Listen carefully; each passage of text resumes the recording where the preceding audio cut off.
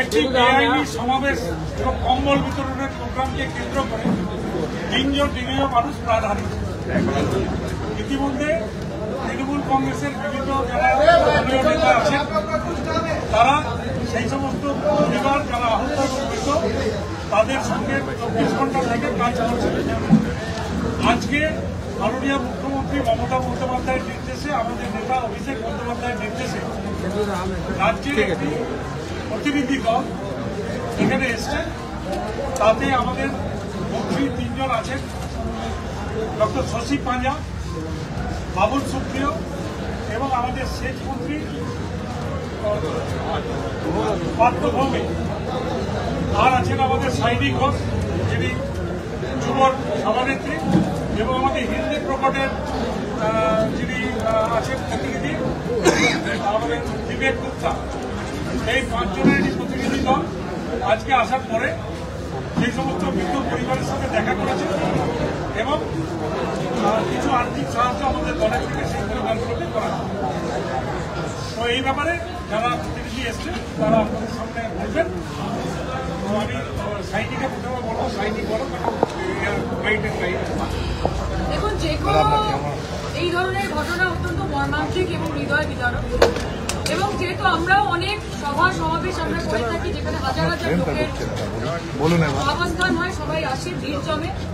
সেখানে দাঁড়িয়ে এরকম অপ্রীতিকর ঘটনার দোষ যেরকম সম্পূর্ণভাবে একজনের ঘরে করতে পারে না কিন্তু ঠিক সেরকমভাবে আমি মনে করি যে একটা ন্যূনতম দায়িত্ববোধ থাকা প্রত্যেকটা মানুষের ভীষণ দরকার।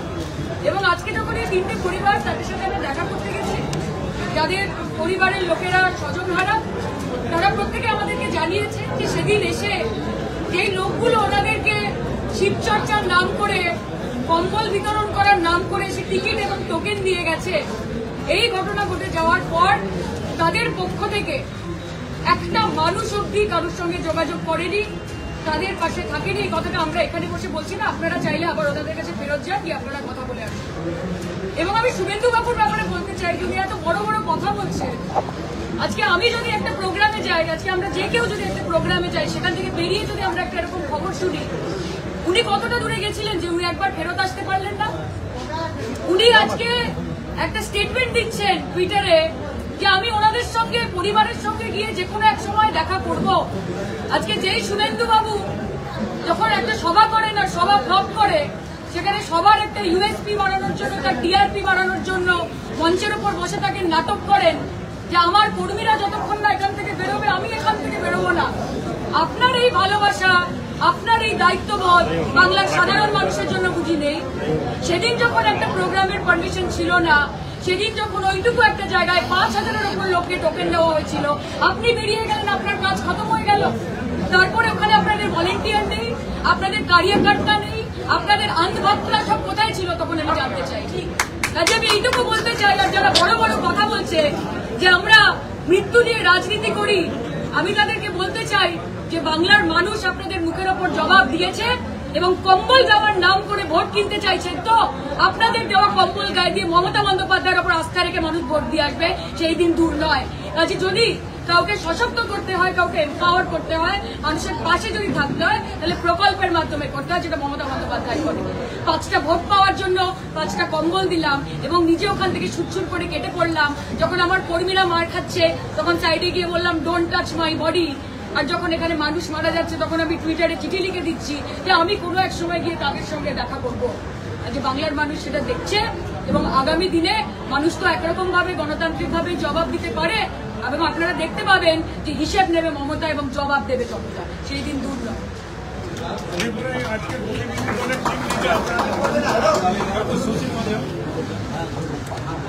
বিষয়টা হচ্ছে যে চোদ্দই ডিসেম্বর একটি প্রয়াস ছিল স্থানীয় পৌরমাতা, আপনারা সকলেই জানেন, যেই দল থেকে তিনি নির্বাচিত হয়েছেন, কিন্তু তার সেই কর্মসূচি ফ্লেক্স আমরা দেখছি। এবং কোথাও ছিল যে তিনি শিব চর্চা করছেন। আর তারপর দেখা গেল যে সেটা একটা সামাজিক কার্যক্রম থেকে পরিণত হয়েছে একটি রাজনৈতিক সভা। অর্থাৎ বোঝা যাচ্ছে যে কম্বলের টোকন দিয়ে আপনি যে ছোট মাঠটা নিয়েছিলেন, তার ভরার প্রয়াসটা করেছে রাজনৈতিকভাবে দেউলিয়া যারা যারা শুধু স্থানীয়ভাবে ওই ওয়ার্ডের লোকজনকে শুধু কম্বল দেওয়ার জন্য টোকেন দেননি, অনেক দূর দূর অব্দি এই টোকেনটা পৌঁছেছে তাদের যারা কর্মসূচি, যারা যুক্ত ছিলেন বিজেপি কার্যকর্তার মাধ্যমে। একটি বিশাল অপরাধ হয়েছে। প্রথম অনুষ্ঠানের কোনো এই কর্মসূচির কোনো যে অনুমতি থাকে সেটা নেওয়া হবে দ্বিতীয়তে যে স্থানটা আপনারা চয়ন করেছেন, সেই স্থানে পাঁচশো লোক ধরে কিনা তা নেই। তারা এতটাই নিজেরা বুঝলেন যে পাঁচশো লোকও আসবে না। যদি না তার সঙ্গে যুক্ত করেন একটি কম্বল বিতরণ এবং ধর্মীয় একটি সভা। ভাবুন বিজেপির কি অবস্থা। অর্থাৎ লোক জোগাড় করার জন্য তারা পাঁচ হাজার কুপন নাকি বিলি করেছেন, তারা স্বয়ং সেটা বলেছে। যেই জায়গায় স্থান ছিল না সেখানে আপনি এত ভিড় করলেন, সে ভিড়টা নিয়ন্ত্রণের বাইরে চলে গেল এবং আপনারা কম্বলের জন্য মানুষের প্রাণহানি হলো। এর জবাবটা, এর দায়িত্বটা তারা নেবেন কি নেবেন না, আজকে যে আমরা এসছি প্রতিনিধি দল হিসেবে, আমরা সেই জায়গায় গিয়ে তাদের কাছে পৌঁছে তারা সেই ন্যায় দাবি করছেন যে তিনজন মানুষ মৃত হয়েছেন চান্দনী দেবী ছালি বাউরি, প্রীতি সিং। চোদ্দ বছরের মেয়ে, তার কি বেঁচে থাকার অধিকার ছিল না? এই জবাবটা বিজেপি দেবে তো? এই জবাবটা স্থানীয় পৌর প্রতিনিধি চৈতালি তিওয়ারি দেবেন কি? এবং তারা যখন একটি অনুষ্ঠান নিয়ম মেনে, না মেনে, অনুমতি ছাড়া করলেন এবং তারপরে যে মৃত, যারা মৃতা ছিলেন সেই পরিবারের কাছে আর মুখ তারা ফিরিয়ে দেখে। তারা ফিরে এসে কেমন আছে সমবেদনা তো দূরের কথা। তারা এখন দায় অস্বীকার করছে এবং বিভিন্ন প্রেস মাধ্যমে এবং সোশ্যাল মিডিয়ার মাধ্যমে মিথ্যাচরণ করছে।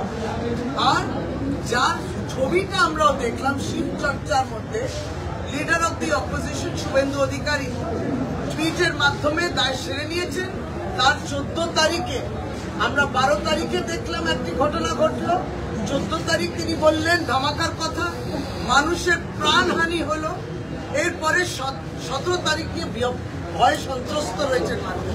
তিনি কিন্তু একবারই তার ছিল। তিনি ফিরে এসে সেই পরিবারের কাছে পৌঁছন। আমরা ধন্যবাদ জানাই। আমাদের সেই স্থানীয় পৌর, আমাদের স্থানীয়, আমাদের বিধায়ক, কিন্তু রাজ্যের মন্ত্রী শ্রী মলয় ঘটককে আমরা ধন্যবাদ জানাই। মেয়র, বিধান উপাধ্যায়কে। আমরা ধান- ধন্যবাদ জানাই যিনি ডেপুটি চেয়ারম্যান উৎপল গাঙ্গুলিকে উৎপলবাবু উৎপল সিংহকে এবং আমাদের অন্যান্য সকল স্থানীয় ব্লক সভাপতি থেকে আরম্ভ করে আমাদের পৌর প্রতিনিধি আরম্ভ করে যারা এই ওয়ার্ডের বাইরে হলেও তারা কিন্তু পৌঁছে গেছে।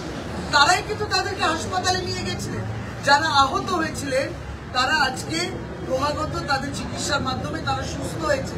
সেই ইনজর্ডরা এসছেন আমাদের কাছে আবার। তারা দেখা করবেন বলে। কিন্তু তাদের কাছে যাদের কাজ ছিল, যাদের প্রোগ্রাম ছিল, তারা পৌঁছনি অর্থাৎ যেরকম মরবিতে দেখলেন, মরবি যে সেতু ভাঙন হলো, একশো পঁয়ত্রিশটি জীবন চলে গেল। যারা এইটার জন্য দায়িত্ব দায়িত্বে ছিলেন যারা ব্রিজ সংস্করণ করেছিলেন, তাদেরকে ধরা তো দূরের কথা অ্যারেস্ট করা তো দূরের কথা। এই একশো পঁয়ত্রিশ জীবন যে হার- হারিয়েছে তাদের জন্য কি ন্যায় পৌঁছেছে ঠিক সেইভাবে এই তিনটে জীবন যেটা আমরা হারালাম, তার জন্য কি করবে বিজেপি? কোনো জবাব তাদের নেই। সাতজন অ্যারেস্ট হয়েছে, পুলিশ তার ইনকোয়ারি করছে, তার মধ্যে আমরা কিছু বলছি কিন্তু একটি রাজনৈতিক দল কখনো বলে একটা সামাজিক অনুষ্ঠান, কখনো বলে একটা এনজিও অনুষ্ঠান। ফলে সব রকম গাফিলতি, সমস্ত রকম নেগলিজেন্সের দায় তাদের নিতে হবে এবং পশ্চিমবাংলার মানুষ এবং আসানসোল উত্তরের মানুষ জানে, এই রামডা রামকৃষ্ণডাঙ্গা যে গ্রাম আছে, সেখানে এবং কাল্লা গ্রাম, তারা কিন্তু প্রত্যেকেই জেনে গেছে যে কি হলো, যে কম্বলের টোকান দেয়া হলো, প্রাণ গেল। শিবচর্চার ডাক পেলাম প্রাণ গেল।